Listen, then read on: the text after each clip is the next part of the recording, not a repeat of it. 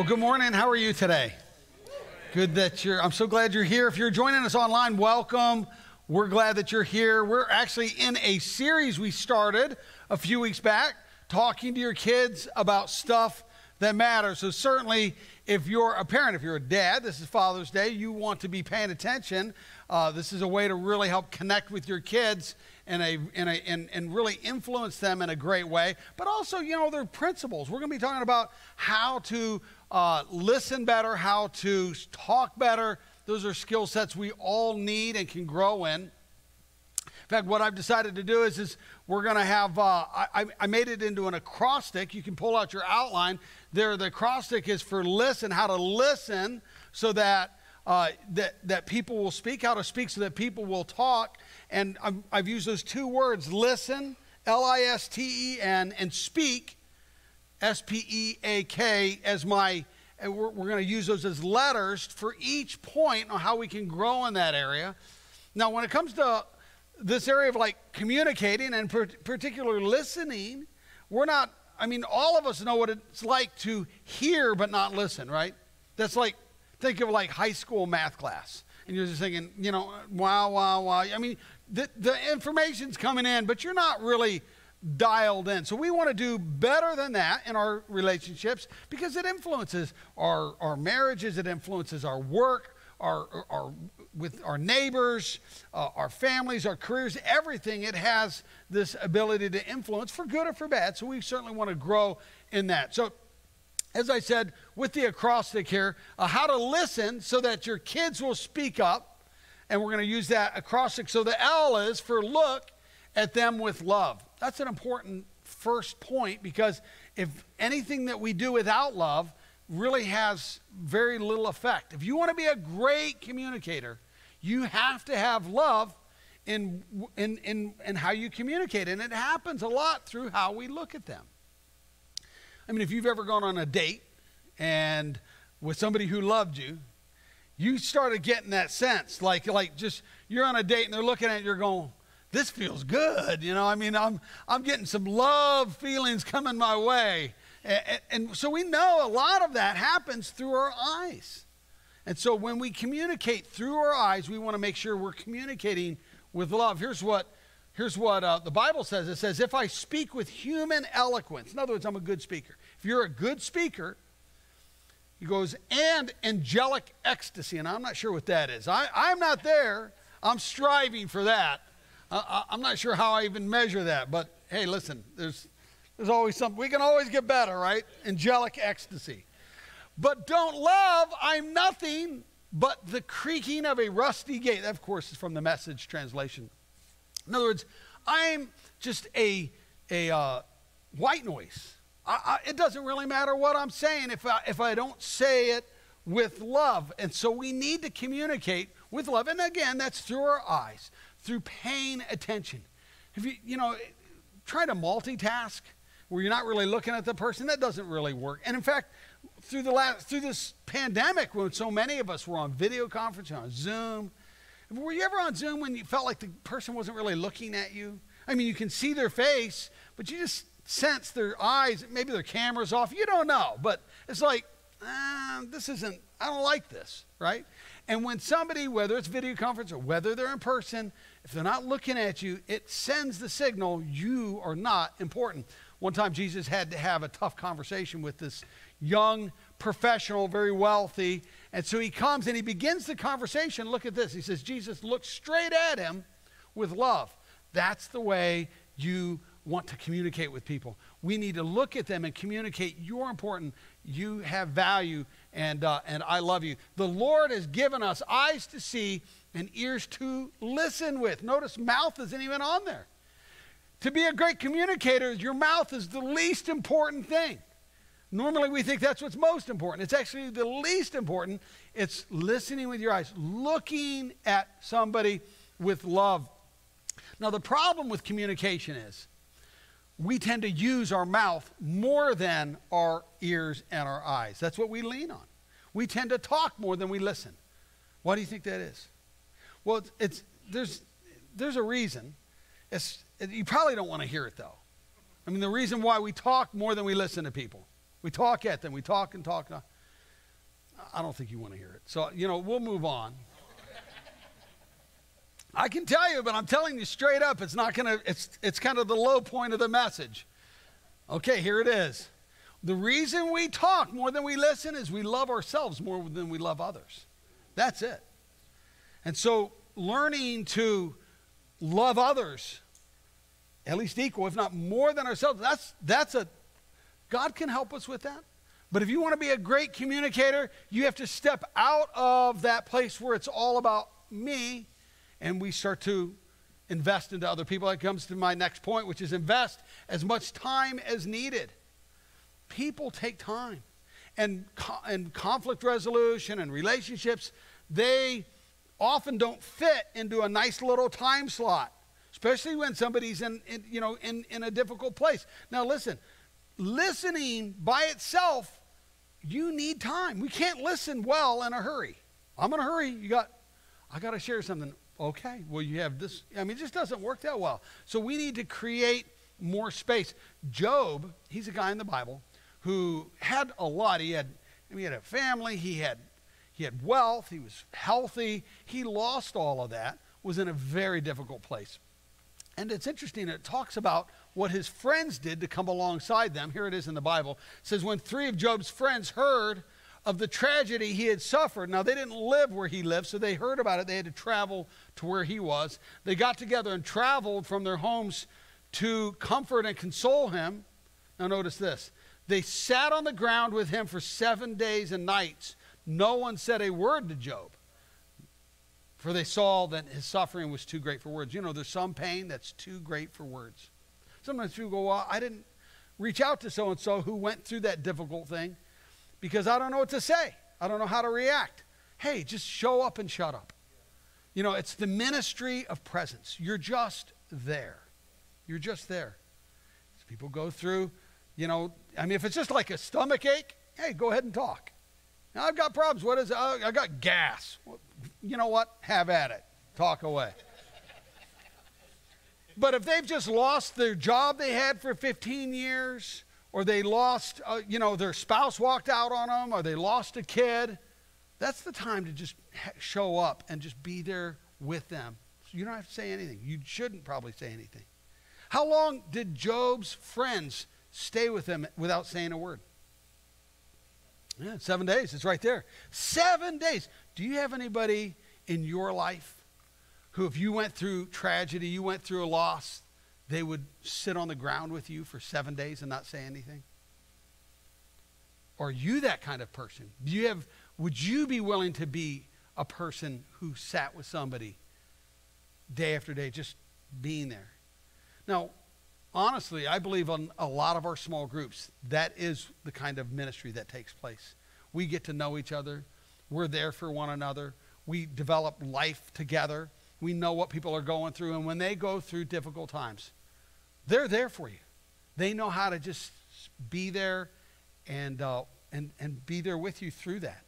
Now, the time to get involved in a small group is not waiting until you're in a place like Job was. It's because life has ups and downs. We all go through challenges. The time to get into a small group is now when, you, when, when, when maybe you're doing okay, or maybe you're just, you know, you're not doing okay. Any time is the time to say, this is the mo- I need, I need people like that in my life, people that can help me, you know. Okay, so uh, we look at them with love. We invest as much time as needed. When then we share their feelings, not our solution. We tend to be fixers, especially men, right? It's Father's Day, so I get to kind of bring that up, right? I'm a guy. I mean, I've been married 32 years, which is kind of miraculous, you know, because I'm, you know, I mean, as many times as I've tried to fix my spouse, you know, it's amazing she's still with me, you know, because that's really not a recipe for a healthy, enriched marriage. It's learning to share in their feelings and not try to just rush to the answer. And so many times I've done it, and many of you have done it where somebody's talking, they, they only get like into the first sentence or two, and you stop and you don't need to waste your breath. I already got the solution. Aren't you lucky? That's not what they need. See, people don't care how much we know until they know how much we care. Sometimes they don't even need your response. You think that's what they need. Sometimes all they need is to be understood, for you to hear them out. Listen to what the Bible says. It says, Listen before you answer. If you don't, you're being stupid and insulting. See, I mean, that's it's talking about me. I'm a little embarrassed right now. Because I mean that's that's that there it is. You know, every time I step in, I'm trying to bring, I'm Mr. Fixer. Try to, I can fix everybody's problems. You see, God will use your ear as a healing tool if you allow Him. Some people, their wounds are just because nobody's heard them. Nobody will listen to them. And they've, in some cases, they've carried it for years. And when you listen and hear somebody, that can be a ministry of healing into their life. Powerful healing, not just something small, major. You know, one of the things that I uh, love about Jesus is he was so good at this. He could fix anything, and yet he would listen and hear people and experience with compassion, with empathy, their feelings. A good example of that is what happened with his friend Lazarus. Lazarus got sick. Now, Lazarus was uh, the brother of Mary Martha. They're, they show up in the Gospels a few times. They lived in Bethany, which was about a day's walk from Jerusalem. Jesus went to Jerusalem several times. And whenever he'd go, he'd always stop in there because they were his friends. Lazarus was his buddy. Lazarus gets sick, really sick. I mean, COVID 19 on a ventilator sick. I mean, he's going to die. And Jesus gets word about it. They send Jesus word. He's only about a half a day away of walks away, and yet he doesn't come because he knows he's not going to heal Lazarus. He's going to raise him from the dead. Nobody else knows that. So he's got to fix it in his mind. Hey, I, already got this covered, you know. It's, a, it's and it's an amazing story of him. Lazarus does die. He's put in this tomb. He's there for four days, and uh, and then Jesus comes and he raises him from the dead. Incredible story. Uh, in fact, when uh, we did a, a trip to Israel a few years back, a church trip, and we went to Bethany and went and saw this tomb. It's now some places you go when you do a, a, Holy Land tour, they'll say we don't really know if this is the place. You know, it's just tradition. You know, but but this one actually dates back all the way to the early church. They're saying we're almost 100% positive this this uh, this sepulcher, this tomb, is where that happened. There's a church built over it now called St. Lazarus Church of Bethany. And here's what it looks like. This church is newer but it's built over where this original tomb was. And I was there with my kids, so we here's a picture of us uh, down in the tomb area. Then I told them about Lazarus, how he was raised from the dead. So we had to do a, a photo, you know, pretending like we're, you know, zombies or something. I don't know, but but anyways, here's the story. It's it's a pretty amazing story. Mary, that's Lazarus' brother, fell at Jesus' feet. Lord, she said, if you had been here, my brother would not have died. So she's thinking, hey, you totally botched this one. Jesus saw her weeping, and he saw how the people with her were weeping also. His heart was touched. He already knows the answer. And yet he's entering in with empathy to their pain. His heart was touched, and he was deeply moved. So that's remarkable. Here he is. He knows the answer, and yet he's being moved emotionally. Where have you buried him? He asked them. Come and see, Lord. They answered, Jesus wept. Jesus wept. That's in John 11 35. In fact, that's a whole verse just by itself. Jesus wept. So what's, what's John 11 35? Jesus, you just memorized the whole verse. That's pretty cool. It's also one of the most important verses in the Bible because it shows that here's a man's man, not a wimpy guy, not somebody, you know, so he's like Rambo in my eyes, you know. Rambo cried once, right? At the end of that first movie. He's like, well, that's movie, you know, Rambo cried. This is even bigger deal than that. Jesus weeps. He's deeply moved. Why? Even though he knows the answer, he's entering in to their, he's sharing their pain. And he's really, he's there, he's present with them. It's not like, if you ever saw that movie, Princess Bride, remember that early on there's like a sword fight between Westley and a guy named Inigo Montoya. And, and, and Inigo's smiling.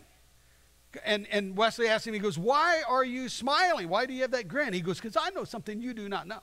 Because he's pretending to be left handed. And he switches over and goes, Oh, I'm actually right handed. He's got a grin the whole time because he's got a better deal going on. Jesus doesn't have some grin on. You know, like, I know something that you do not know. I'm going to do something. No, he's entering into their pain. He's, he holds off on the fix it mentality.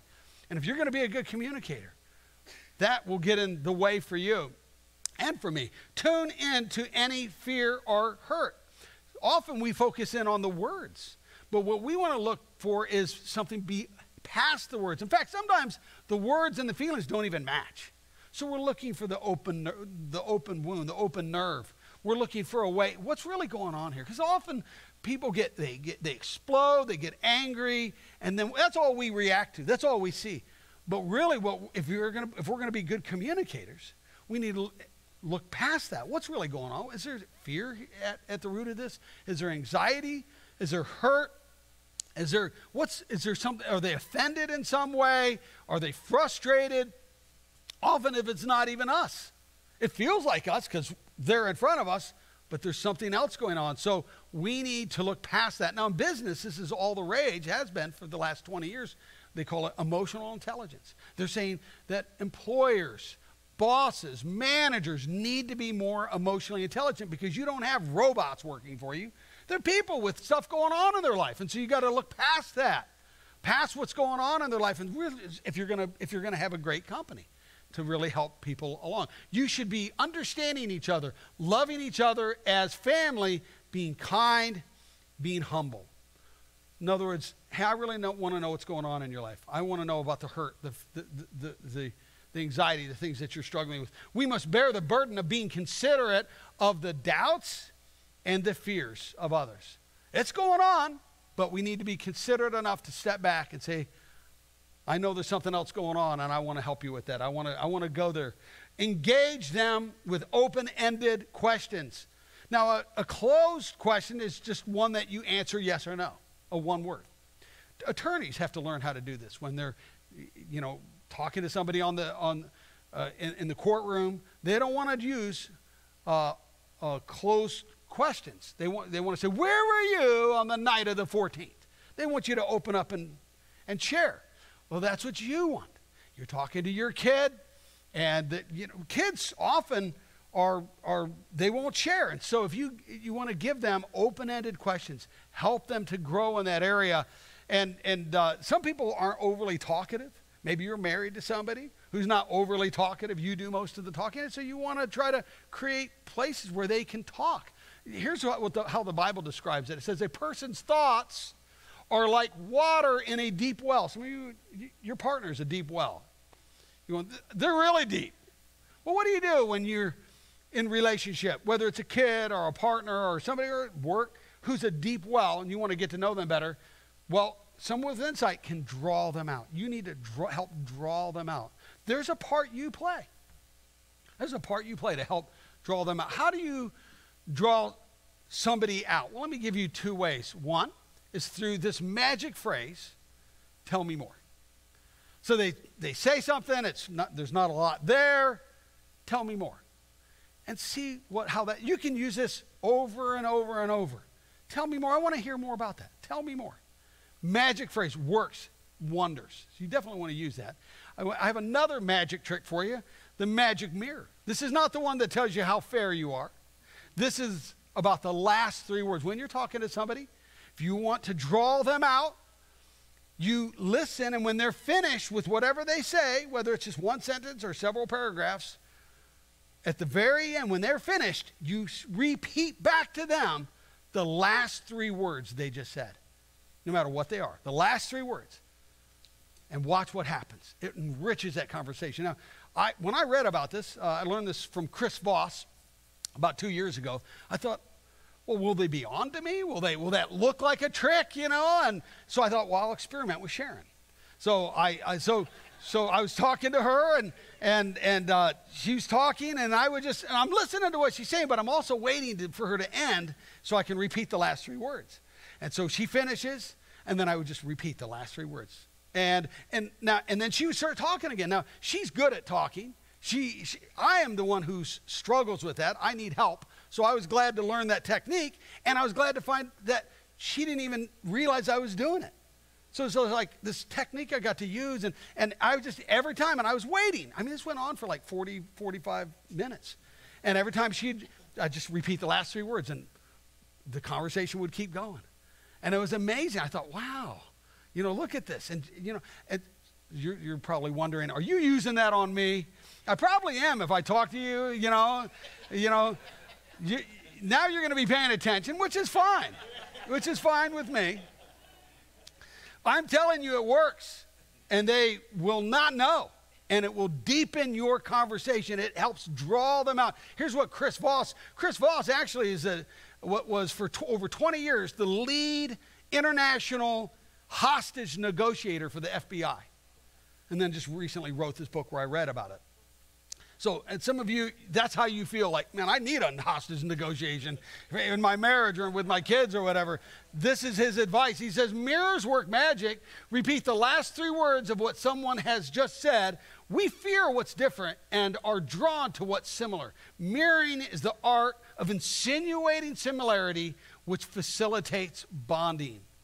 So, it's a powerful way to connect with somebody. So, if you're going to draw somebody out, you're going to be wise in that area. What are the uh, what are the magic words? Tell me more. What's the magic mirror? Last three words. Thank you for listening. Never judge until you have all the facts.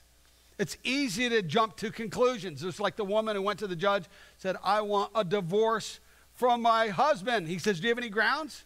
She goes, Well, yeah, we own like a half an acre in Great Neck. He goes, No, do you have a grudge? She goes, No, we park our cars in the street. He goes, Does he beat you up? She goes, No, I always get up before him. He goes, Well, frustrated, why do you want a divorce? She goes, We just don't communicate. You know? it's easy to jump to conclusions. And if we're going to communicate better, we've got to get the facts. We can't be presumptuous. We can't have snap judgments. It says, What a shame. Yes, how stupid. Here it is again. You know, how stupid to decide before knowing the facts. A person with understanding gets knowledge. The wise person listens to learn more. That's what we want to be. We want to be people that grow and listen. So we listen so that our kids will speak more and that people around us will speak more. Let's look at the second part how we can speak so that others will listen to us. We certainly want that. We certainly want that. How do we do that? Well, save it for the best time and place. Listen, timing is everything. Timing is everything. Have you ever brought up a conversation with somebody? Maybe it was difficult and you'd thought it all through and it still crashed and burned? How do you know that the timing was wrong? It ended in conflict. That's almost always the telltale sign. You thought, well, that didn't go the way I wanted. It's probably poor time. Timing is absolutely critical. You don't want to bring up a, a tough conversation, for example, in bed. You know, you're both in bed.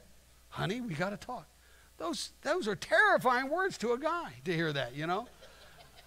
Listen, you need to bring some stuff up. We're going to talk about that, but not there, not then. Reserve your bed for better things, okay?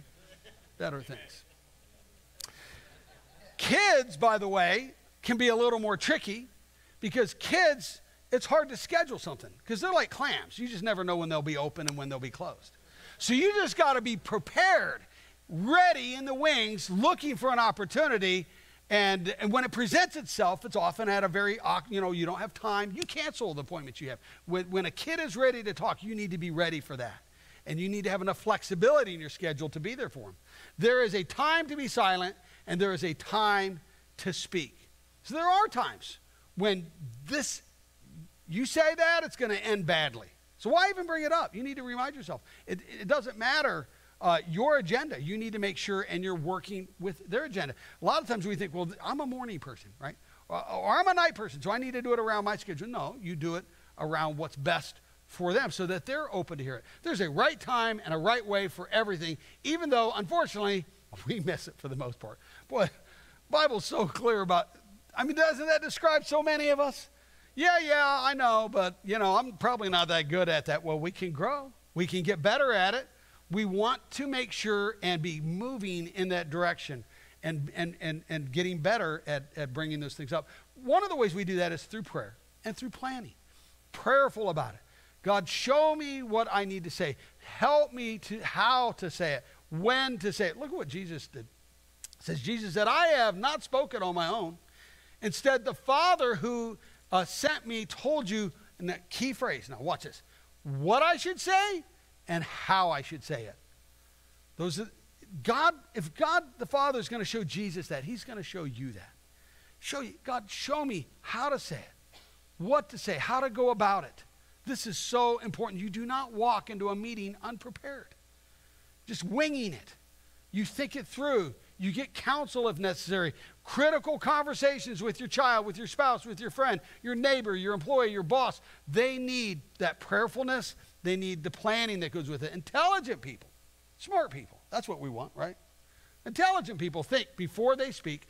Then what they say is more persuasive. He says this is actually a litmus test of how smart you are. Do you plan? Do you pray? Do you think it out in advance? You'll be more persuasive if you do.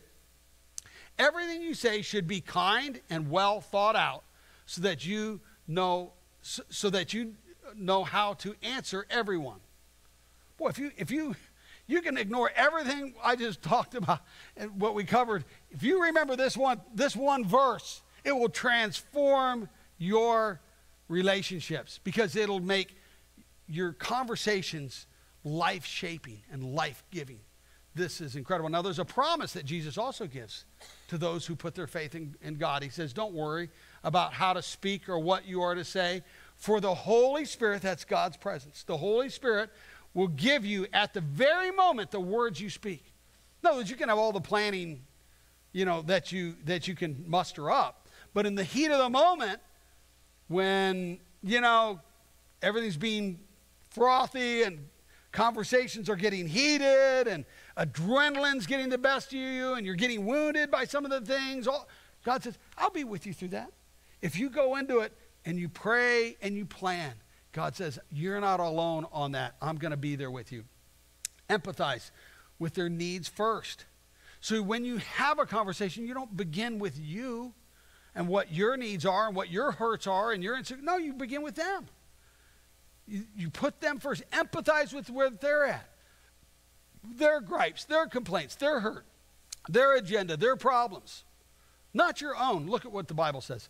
Speak only, those are key words, speak only what is helpful for building others up according to their needs, that you may benefit those who listen. Now you're doing the one talking, they're the ones listening. How are you supposed to how are you supposed to uh, present? How are you supposed to talk, uh, you know, and, and communicate? Well, he breaks it up into four, four parts. Speak only what's helpful. So you think you have a little grid, a little filter. Is this helpful? If not, I don't say it. Speak only what builds others up. Is it going to build them up? Is it going to edify them? Speak only according to their needs, what they're going through, and speak only what will benefit those who listen. Now, listen, you go first. It will come to you. I'm just saying you go, let them go first. Then, during later at some point in the conversation, you can talk about your insecurities, your hurts, your frustrations, your fears, your wounds, all those things. It'll you get a chance. You just let them go first. And as they're speaking, you don't interrupt them. You don't ask questions. You don't ask for clarification. You don't challenge them. You take notes. You take notes. You just you just write it down. Uh, there's been times with Sharon and I. Sometimes I've had pages of notes. I'm just listening, you know, and I'm listening and trying to take notes. Now, I like to do longhand, but for you, it might be better, you know, in your in your mobile device on notes. You don't want to be watching, you know, the news or, or sports or something. That's, you know, you're you're in the conversation. But as people are talking, you you are there, but you're participating. And hey, and when you're talking, you're saying, I want to be helpful. I want to be, I want to, I want to affirm, that goes to the, I want to affirm the positive. I want to build that person up. I want to do things that, that, that, that benefit this, this relationship. Now, uh, affirming the positive is so important because study after study shows that just that if you just go to the negative, that doesn't change anybody. People don't change with negative. Boss, if you're a boss and you're always thinking your job is to catch somebody doing something wrong, that does not change people. That does not motivate people. Some of the, if you're an employee and you have a boss like that, you're going, oh gosh, that's so true. I hope, I hope he figures, you know, I hope he figures that out. Maybe he'll be listening online. But it's true. We need to be positive. That's how change happens. It's just by being positive. If you, uh, or in your, if you're in a marriage and you just say, well, I just tell it like it is. Here's the state of our marriage. It sucks. That's not helping anything. You know, and you start, you know, detailing all of the problems in your marriage. That doesn't motivate anybody, doesn't change anybody. It's true in churches. You know, there's pastors that do that. Oh, pastor, I just tell it like it is. I, I, I'm a regional leader, so I talk with pastors all throughout our region. I train them, work with them.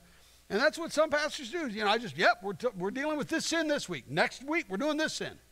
Because there are a bunch of sinners.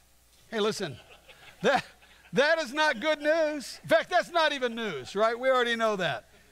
We need, we need to affirm the positive, what you can be. It's Father's Day weekend. If I had somebody come up here and tell you about how crappy of a father you are, it would make you feel bad. And some of it might be true, but that doesn't help us. It doesn't, right? I mean, and I'm included in that. What we need is, hey, through God's presence, through following His word, God can do something in your life where it transforms you, changes the way you talk, changes the way you communicate. You could have a, a, a, spouse that loves you and adores you. You have kids that respect you. You could be in a community of people that look up to you. Hey, then you go, I want to be like that. And you can be like that. So you affirm the positive. It says, when wise people speak, they make knowledge attractive. A knowledge, how many of you know in school you, you would sign up for a class and you go, oh, that's my favorite subject. And somehow the teacher would just like, you know, destroy it.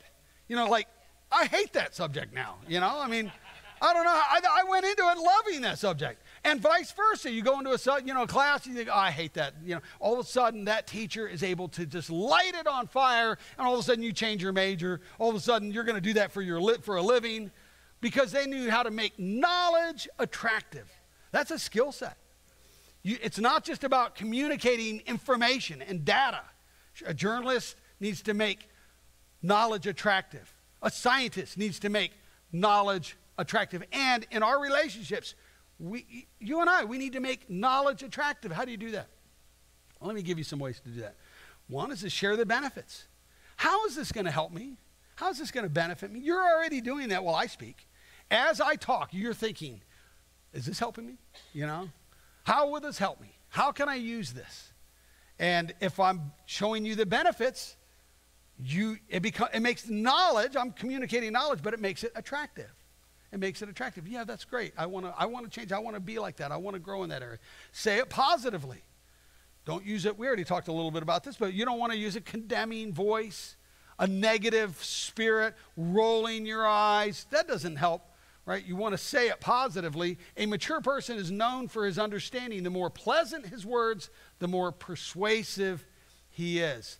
I'm never persuasive when I'm abrasive. Now, you can manipulate people by being angry and, and, and abrasive, but all you're doing is just manipulating. If you want to persuade them to come along with you and be on that journey, you need to be, you and I, we need to be attractive in how we communicate. We need to be mature. We need to have use pleasant words. When you, if you come uh, at people offensively, they will react defensively every time. So share the benefits, be positive about it, and then have hope. As Christ followers, we are the carriers of hope. God can change our circumstances. No matter what your past is, no matter where you've come from, God can change your life. He's got a purpose for your life. That's why we do Growth Track. We talk about Growth Track every week here. We believe in it because we know God has a destiny for you no matter what your past is, no matter how old you are, no matter what obstacles you're facing. It's never too late. says, God says, I have a plan for you. And we talk about that in Growth Track. He says, We have this certain hope, like a strong, unbreakable anchor holding our souls to God Himself. It's not all up to you. It's not all up to you. Sometimes people go, I've been walking with God for this length of time. Well, He's actually been carrying you probably most of that.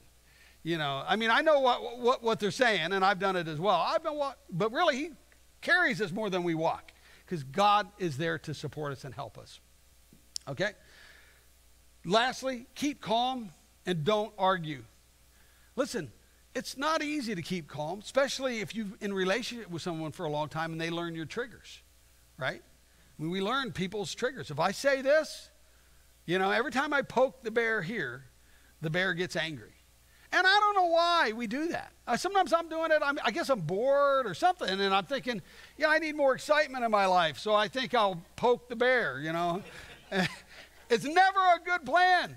It's never good. But listen, when, when, uh, when, when we're communicating, we get to choose. I am going to stay calm. I, I'm not going to use that trigger. And if they use it against me, I'm going to move into forgiveness, move into some of the things we talked about, look past the words into what's really going on. We have the choice. We're not victims in all of this. Those who are sure of themselves do not talk all the time. People that talk all the time, they're, they're, it's really a sign of insecurity. And people who stay calm have real insight. Calmness, praying for the peace of Christ that surpasses all understanding in your mind and in your heart while you're in conversation. Last verse. Everyone should be quick to listen, slow to speak, slow to become angry. If you do the first two, the third one is automatic. Learning to slow down. Here we've been talking about listening. We've been talking about speaking. We've been looking at things that we can do to improve that. But ultimately, we need God's help because most of us know more than we do. And how to close that gap is by depending on Christ, going to God, saying, God, I need your help in order to be a better communicator. Some of you have seen the results of just doing it, trying to do it on your own.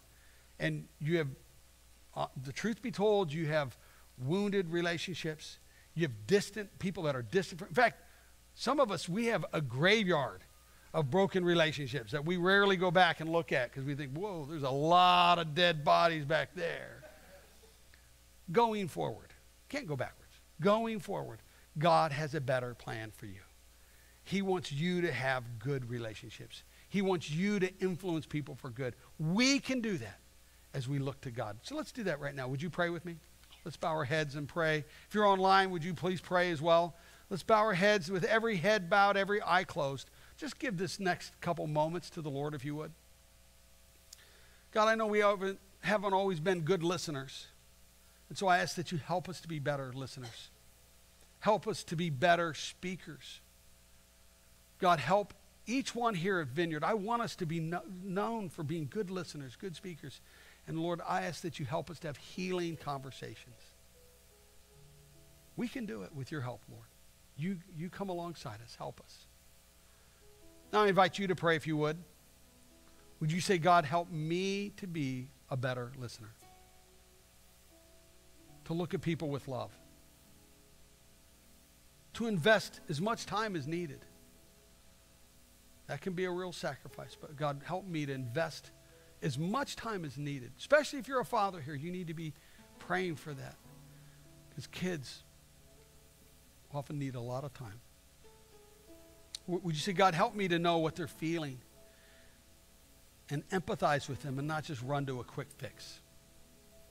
Forgive me for that. You say, God, help me to see the hidden hurt or the fear or the insecurity, whatever's going on behind the words. Help me to use open ended questions so that I can better draw out what people are going through. Deepen that. And help me not to judge before I get all the facts. And would you say, God, help me with timing? to be more sensitive to the time and the place. What's best for other people and not just for me.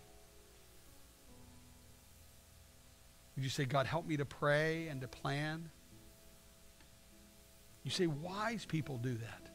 To never go into a meeting without, a, without praying about it, without having a plan. And then to empathize with their needs first. You say, God, help me to not be one of those people that just tell it like it is. Help me to affirm the positive, to draw out the best, to inject hope into conversations, into relationships. And help me to keep calm. You know, God says that all of these things, He wants that with you. He wants to have that kind of relationship with you where there's an interchange between you and God. And He can help you so much more. You're not left to do this all on your own. The God factor transforms our lives, transforms our relationships. And so some of you, you need that. You're here today, and you got some techniques, you got some things. Hopefully, I made knowledge more attractive, more, you know, attractive. but the truth be told, without God in your life, you're just going to walk out of here and probably forget most of it. Just keep doing the things the way you've done them. It can change. Today could be your day. I invite you to pray with me. Start that journey with God. Let God come and start to change the relationships in your life, the outcome. Go, Andy, how do I do that? Well, it begins with prayer, honestly. And I would love to pray with you right now, right where you're at. This isn't about joining Vineyard Church. I'm not asking you to come forward or to stand up with every head bowed, every eye closed. I'm just going to ask you, why not begin and invite Christ into your life? Say, God, I need more of you. And if that's you, I'm going to ask you to pray along with me. Just let me know. Say, Andy, I'm, that's me. I need to pray with you. You can do that right where you're at, boldly, right now. Just raise your hand and say, I'm going to pray with you, Andy. Bless you. Who else? Okay, I see you. Yep, in the back. A number, all over, a number of you. Anybody else? Say, that's me. I'm going to pray with you. Okay, put your hands down. Those of you who raised your hand, pray this. Say, God, today's my day. Apart from you, I can do nothing of lasting value. So today, I ask you into my life. Come fill my heart, fill my mind, renew my spirit. Some of you, you lack hope. Say, God, give me hope that things really will change. You say, God, forgive me for trying to do it on my own. The sin I've done, the things I've done, give me a fresh start. Newness that comes with starting a journey with you. Say, God, thank you. Today's my day. In Jesus' mighty name. Amen. Would you congratulate those who raised their hand? A number of you made decisions for Christ online. I know that you made decisions. You prayed with me. Let me know about it. I would love to journey with you and pray with you. Uh, there's a way for you to do that uh, on the Connect card that's attached to the program. That's a way for you to let us know what's going on in your life. If you prayed with me, please let me know. Also, if you have a prayer request, there's a place for you to put that on. We would love to pray with you. Also, let you know about your next steps. Growth Track is the most natural, and that's why we do it every week. If, if you're ready, uh, to journey with God, your next step is Growth Track. So hope to see you there right after the service or whenever you can. Get right involved and be part of that. Now, in our church, our vision is for people to know God, for people to find freedom, to discover their purpose, and to make a difference. And so, if you want to partner with us in communicating and furthering that vision, you can do that financially by giving to uh, Vineyard Church. You can do that on our website, vineyardchurch.com. You can do that by texting 45777 and then put VCC in the amount. You can do that in any way that you feel comfortable. My gift to you is that you're here. If you're new with us, thank you. Don't feel pressure to give. We're glad that you're here. We're glad that we could celebrate with you and what God's doing in your life. Well, if you would, stand with me. We're going to conclude with a final song, an opportunity to just kind of sing back to God, reflect on what God's doing in our lives. So I encourage you to sing along. Let's pray. Father, thank you, Lord, for all that you're doing. You have the capacity to change our realities. Lord, we look to you. More of you. Thank you, Jesus. In Jesus' name, amen. Let's sing together. Come on, let's sing.